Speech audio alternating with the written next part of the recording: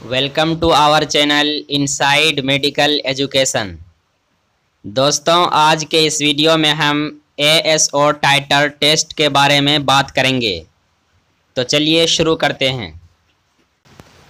A S O जिसका पूरा नाम एंटी एस्ट्रेप्टोलाइसिन ओ होता है, यह एक तरह का एंटीबॉडी है जो एस्ट्रेप्टोलाइसिन एंजाइम के खिलाफ हमारे बॉडी में बनता है। एस्ट्रेप्टोलाइसिन एंजाइम एस्ट्रेप्टोकोकस बैक्टीरिया के द्वारा निकाला गया एक एक्जोटॉक्सिन है। यह टॉक्सिन तब निकलता है जब हमारे शरीर में एस्ट्रेप्टोकोकस नामक बैक्टीरिया का इन्फेक्शन हो जाता है।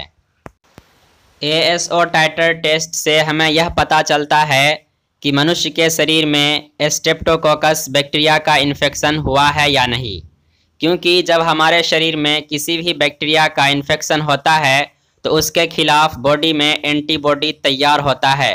यदि स्टेप्टोकोकस बैक्टीरिया का इन्फेक्शन हुआ होता है तो उस बैक्टीरिया के टॉक्सिन के खिलाफ हमारे शरीर में एंटी एस्टेप्टोलाइसिन ओ नामक एंटीबॉडी का निर्माण हो जाता है।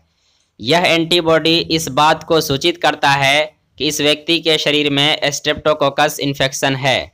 यह इन्फेक्शन खास करके उस कंडीशन में और तीव्र हो जाती है जब इस इन्फेक्शन को सही से ट्रीटमेंट नहीं दिया जाए।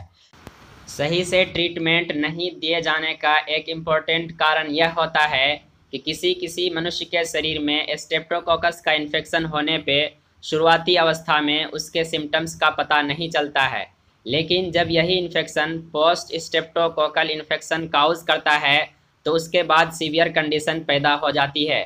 जैसे एंडोकार्डाइटिस गलोमेरुलोनेफ्राइटिस तथा रोमेटिक फीवर फिर इन कम्प्लिकेशन को ट्रीटमेंट देने के लिए डॉक्टर इस बात को निर्देश करते हैं कि इसका एंटी एस्टेप्टोलाइसिन और टाइटर टेस्ट किया जाना चाहिए।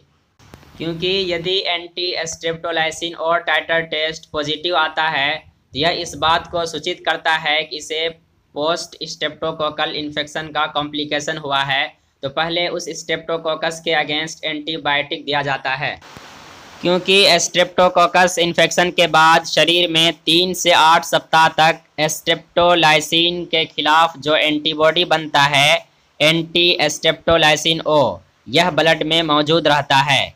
यह इस बात को सूचित करता है कि यह कॉम्प्लिकेशन पोस्ट स्टेप्टोकोकल कॉम्प्लिकेशन है। अब यह जानते हैं कि एंटी एस्ट्रेप्टोलाइसिन ओ का नॉर्मल रेंज कितना होना चाहिए। एडल्ट में एंटी स्ट्रेप्टोलाइसिन ओ का नॉर्मल रेंज 200 से कम माना गया है, जबकि ज़ीरो से पाँच वर्ष तक के उम्र के बच्चों में इसका नॉर्मल रेंज 100 से कम होना चाहिए।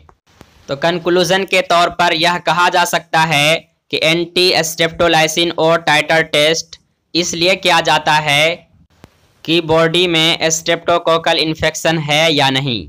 So friends, this is the video on anti-streptolysin or titer test. Hopefully this video will be helpful for you. Thank you for watching.